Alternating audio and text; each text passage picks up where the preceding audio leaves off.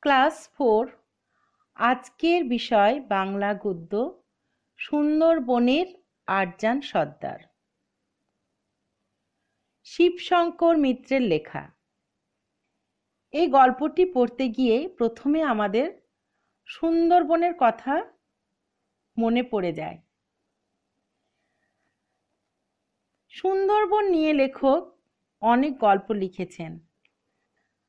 আর এই সুন্দরবন অঞ্চলটি আমাদের রাজ্য পশ্চিমবঙ্গের দক্ষিণে এবং বাংলাদেশের দক্ষিণে বিস্তীর্ণ অঞ্চল জুড়ে রয়েছে। এখানে সুন্দরবনের আরজান সর্দারের কথা লেখক বলেছেন, এই আরজান সর্দারের বাড়ি নিশ্চয় সুন্দরবনের আশেপাশে কোনো একটা জায়গায়, আর সে একটা বড় শিকারী ছিল। এই গল্পের নায়ক আরজান সর্দার। লেখকের ফুটিয়ে তোলা একটি বিখ্যাত চরিত্র। আরজান সর্দার সুন্দরবনে বাঘ শিকার করতে গিয়ে কি কি ঘটনা ঘটল সেই কথায় লেখক এখানে এই গল্পে লিখেছেন। সম্ভবত সেই সময় আমাদের দেশ ইংরেজদের শাসনে ছিল। তাই সুন্দরবনে শিকার করতে গেলে সাহেবদের অনুমতি নিতে হতো। আরজান সর্দার সাহেবদের অনুমতি নিয়ে বাঘ শিকার করতে যাচ্ছে। যেহেতু সে সাহেবের অনুমতি পেয়েছে সেই জন্য তার সঙ্গে অনেকেই শিকার করতে যেতে চাইল। শেষ পর্যন্ত তার ছজন সঙ্গী হলো। সঙ্গীদের নিয়ে সে শিকারে যাবে বলে স্থির করল। বেশ বড় একটা নৌকায় তাদের খাবার, দাবার জামা কাপড় সব নিয়ে তারা দুশো ছয় নাম্বার লাটে এসে হাজির হলো। সঙ্গীদের মধ্যে একজন ছিল, তার নাম ছিদেম। তার বয়স বছর কুড়ি। বলিষ্ঠ তার চেহারা, ভয়ানক তার শিকারের নেশা, আর তার খুব ইচ্ছা ছিল যে আটজানের সঙ্গে বাঘ শিকার দেখতে যাবে। আটজান দূর সম্পর্কে তার মামু। আর এই ছিদেম বেনেখালি পিটেল বোর্ডে কাজ করত। এমন সময় তারা শিকারে বেরোলো। আন্দাজ মতো স্থানে আটজান নৌকা লাগিয়ে সকাল সকাল বনে উঠল। আর আটজান সম্ভবত কাউকে তার সঙ্গে শিকারে নিত না। কিন্তু ছিদেম ছিল আটজানের ভারী অনুগত। আটজানও তাকে খুব ভালোবাসত। শিকারী হওয়ার অনেক গুণই ছিদেমের মধ্যে ছিল, সেই কথাটা আটজান বুঝতে পেরেছিল। তাই শুধু তাকেই সঙ্গে নিয়ে সকাল থেকে বিকেল পর্যন্ত তারা অনেক বুদ্ধি খাটিয়ে সেই পাক খুঁজতে লাগল। কিন্তু কোনো সন্ধানই পেল না বাঘের।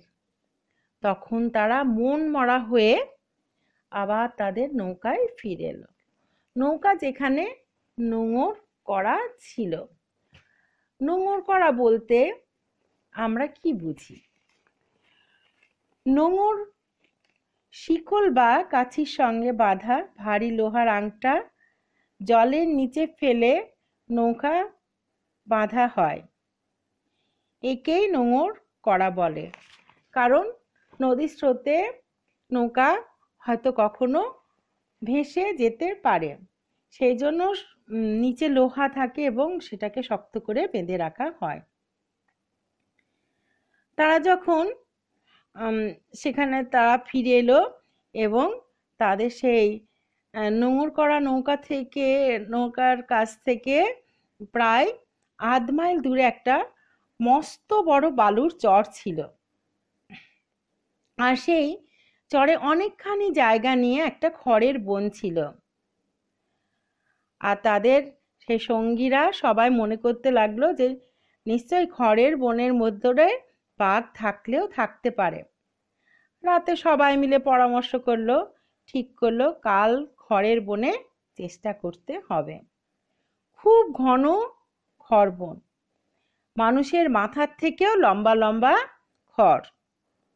সকালে আটজান একটা বন্দুক নিয়ে পরীক্ষা করতে গেল। প্রবেশের রাস্তা নাই, এত ঘন বন যে সেখানে প্রবেশ করতে পারছে না। আর সেখানে যদি সে জোর করে প্রবেশ করে, না জানি হয়তো সে বাঘের মুখোমুখি হয়ে যাবে। তাই সে আবার সেই নৌকায় ফিরে গেল এবং সবাইকে নিয়ে সেই বনের কাছে আসলো। এসে সবাইকে সে ইঙ্গিত করল যে বনে আগুন ধরিয়ে দিতে।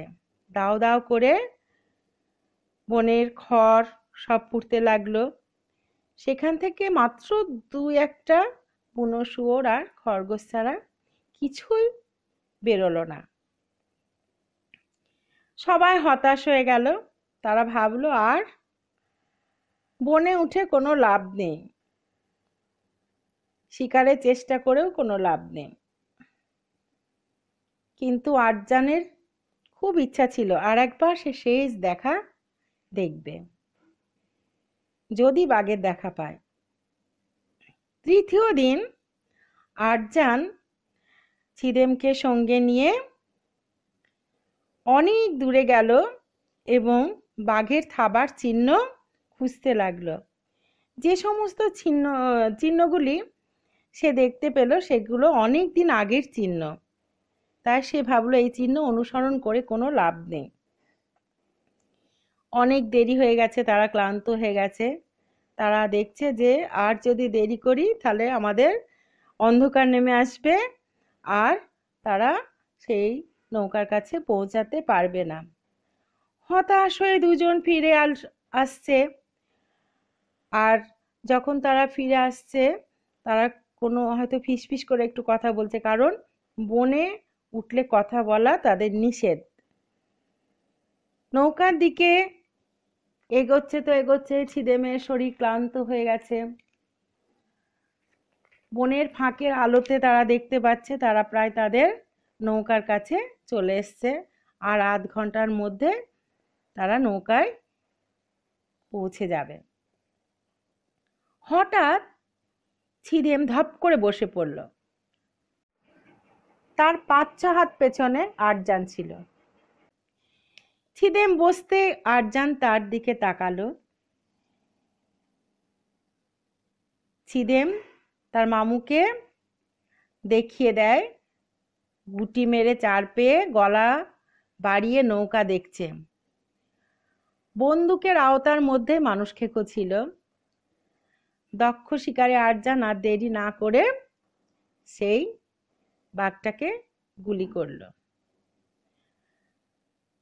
বাঘটা তখন সেখানে পড়ে গেল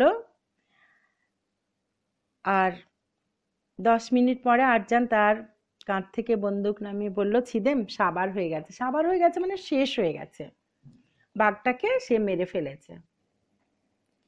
ছিদেম এ তো খুব ভয় লাগছে, সে ভয় বই বলল, না মামু আর একটা গুলি করো। তখন আটজান একতাল মাটি নিয়ে বাঘকে মারল, আর তখন ওরা দেখতে পেল যে, না, বাঘটা মরেই গেছে। হাঁ করে প্রতিকায় বাঘটা পড়ে আছে আর কানের কাছ থেকে রক্ত বার হচ্ছে। তখন ছিদেমের আর আনন্দে ধরে না বিজয় উল্লাসে ছিদেম, সে বাঘটার লেজ ধরে টানাটানি করছে। করতে করতে তারা দুজনেই নৌকায় ফিরে এলো। সকলে এবার বিজয় উল্লাসে মেতে উঠল এবং সেই বাঘকে দেখতে যাবে বলে তারা বাঁশ, দড়ি ও কাছি নিয়ে সবাই নেমে পড়ল। আর মানুষ খেকোটাকে তারা বেঁধে নিয়ে আসবে। আটজন তাদের বাধা দিল। বলল, আজ রাতে আর ওকে এখানে আনতে হবে না। নৌকায় আনলে আজ আর ঘুমাতে হবে না। এমন গন্ধ ছাড়বে মরা বাঘ থেকে যে তোমাদের আর ঘুমাতে হবে না। তখন তারা আবার দড়ি কাছি হাতে সবাই বাঘ দেখে নৌকায় ফিরে গেল। এদিকে আরজান এবং তার সঙ্গীদের তো খুব আনন্দ। তারা সাহেবের কাছ থেকে দুশো টাকা পুরস্কার পাবে। তারা খুব আনন্দ করল, শিকার ধরতে পেরেছে, শিকার করতে পেরেছে। সবাই খুব আনন্দ করছে। নৌকায় যে কটা মুরগি ছিল সব জবাই করল রান্না বান্না করল, মনের আনন্দে খাওয়া দাওয়া চলল। তার পরের দিন বেশ ভোরে সবাই উঠেছে, সঙ্গে বাঁশ, দড়ি ও কাছি নিয়েছে। মানুষ খেকোকে সবাই আনতে চলল। তারা এসে দেখল, কি আশ্চর্য, বাঘ নেই। সবাই হতভম্ব। আর জানের মুখে কোনো কথা নেই। সে হক চকিয়ে গেছে। এমন যে হতে পারে তার কল্পনার বাইরে। সে ভাবতেই পারছে না যে কালকে সন্ধ্যের দিকে যে বাঘটাকে তারা মেরেছে, সেই বাঘের কোনো চিহ্নই সেখানে নেই। সে মহা চিন্তায় পড়ে গেল। এই গল্পটা তোমরা বারবার রিডিং পড়বে।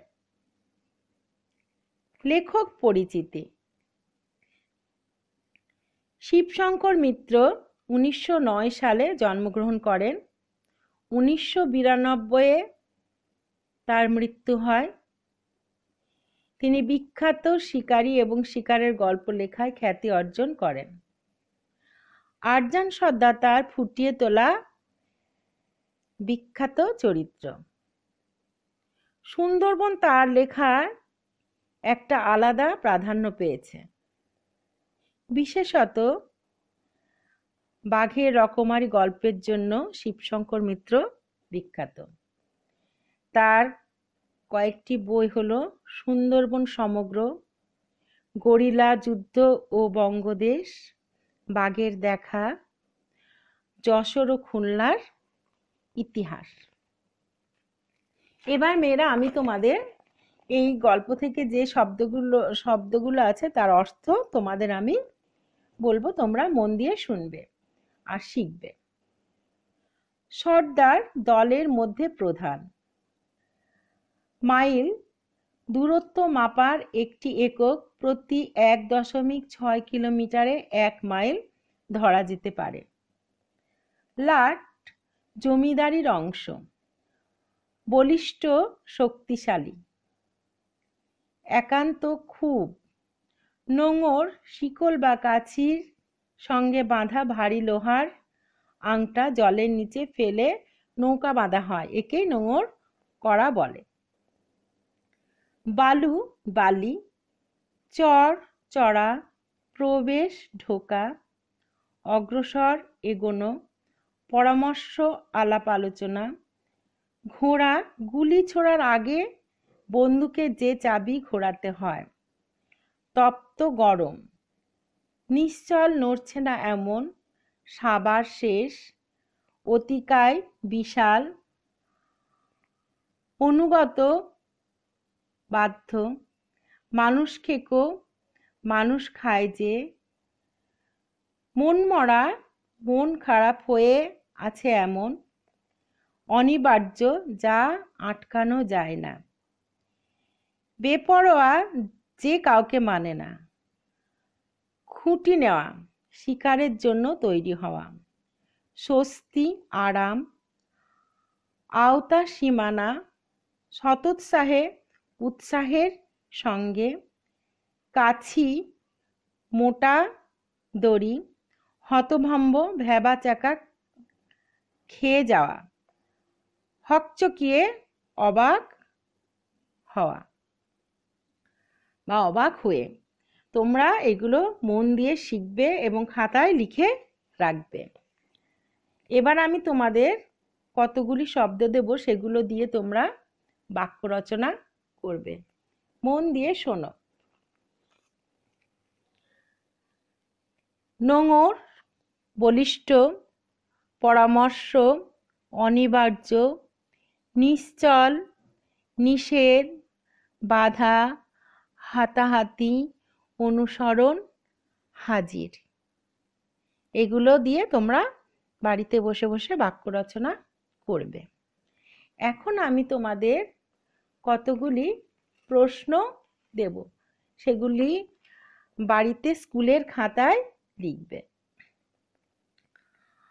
আরজান দল বেঁধে কত নম্বর লাটে এসে হাজির হলো? আটজান দল বেঁধে কত নাম্বার লাটে এসে হাজির হলো? কেন তার সঙ্গে সবাই শিকারে যেতে চেয়েছিল? তার কয়জন সঙ্গী ছিল? এক নাম্বার প্রশ্ন। দুই নাম্বার, ছিদেমকে তার বয়স কত? সে কোথায় কাজ করত? দুই নাম্বার প্রশ্ন, ছিদেমকে তার বয়স কত? সে কোথায় কাজ করত?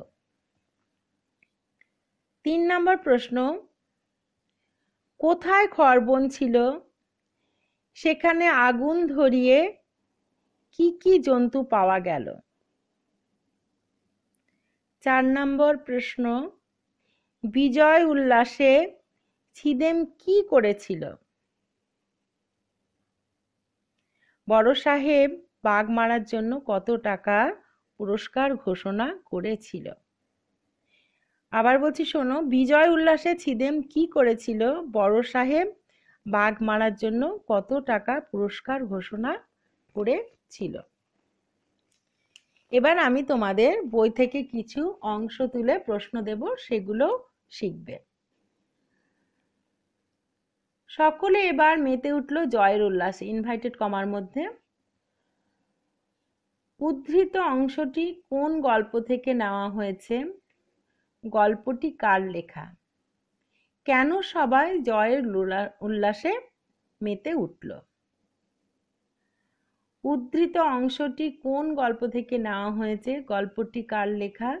কেন সবাই জয়ের উল্লাসে মেতে উঠল? নৌকায় আনলে আজ আর ঘুমাতে হবে না। দ্বিতীয়টা। এই অংশটি কোন গল্প থেকে নেওয়া হয়েছে? এ কথাটি কে কাদের বলেছে? এখানে কাকে আনার কথা বলা হয়েছে? কেন তারা আজ রাতে ঘুমাতে পারবে না? আর একবার বলছি, শোনো, নৌকায় আনলে আজ আর ঘুমাতে হবে না। এই অংশটি কোন গল্প থেকে নেওয়া হয়েছে? এই কথাটি কে কাদের বলেছে? এখানে কাকে আনার কথা বলা হয়েছে? কেন তারা আজ রাতে ঘুমাতে পারবে না? শুনেছ সবাই? শেষে আমি আর একটা প্রশ্ন দিচ্ছি। এমনও যে হতে পারে তার কল্পনার বাইরে। এমনও যে হতে পারে তা কল্পনার বাইরে। এই অংশটি কোন গল্প থেকে নেওয়া হয়েছে? গল্পটির লেখক কে? এই কথাটি কে বলেছিল? কেন বলেছিল? শেষে আর একটা প্রশ্ন দিচ্ছি। আমরা জানি বাঘ এখন প্রায় বিলুপ্ত প্রায় একটি প্রাণী, তাই বাঘ মারাটা এখন অপরাধ। ফলে আটজান সর্দার কি অন্যায় করেছে বলে তুমি মনে করো? এটা তুমি, তোমরা লিখবে। আর প্রশ্নগুলি স্কুলের খাতায় ভালো করে লিখবে, গল্পটি বারবার করে পড়বে, যেন গল্প থেকে যদি কোনো অংশ তুলে প্রশ্ন করা হয়, তোমরা সহজে সেটা বুঝতে পারবে, বারবার গল্পটা পড়বে, তাহলে তোমাদের মুখস্থ হয়ে যাবে। আর কোনো অসুবিধাই হবে না। তোমরা সবাই ভালো থাকো, সুস্থ থাকো, মন দিয়ে পড়াশোনা করো, আর ঈশ্বরের কাছে প্রার্থনা করো।